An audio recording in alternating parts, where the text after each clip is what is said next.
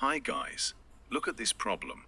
The problem is 3 times parentheses 5 plus 20 divided by 2 times 5. Let's see step by step how to solve it. But first, try to solve it yourself and comment below for me your answer in the comments. So here we can use PEMDAS rule to solve this expression as it helps to determine the sequence in which mathematical expressions should be evaluated to ensure accurate results. Look at the expression. Here we have a plus sign, division sign, multiplication signs, and a parentheses. Okay, so the first thing we're going to do is parentheses. So we're going to simplify everything in the parentheses first.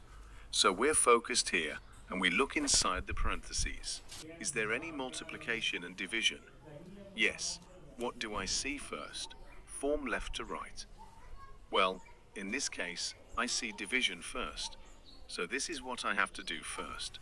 So 20 divided by 2 will be our first move, which is equals to 10. So again, we are still working inside the parentheses. So now we have 5 plus 10 times 5 since multiplication have a higher priority. So 10 times 5 will be our first move, which is equals to 50. Again, we're still working inside the parentheses, so we have 5 plus 50, which is equals to 55. Now finally we're done with everything to do with inside the parentheses. So now we can start thinking about the numbers outside of the parentheses. So 3 next to this parentheses. Here this is actually multiplication.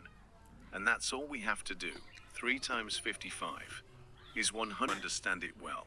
Thanks for watching.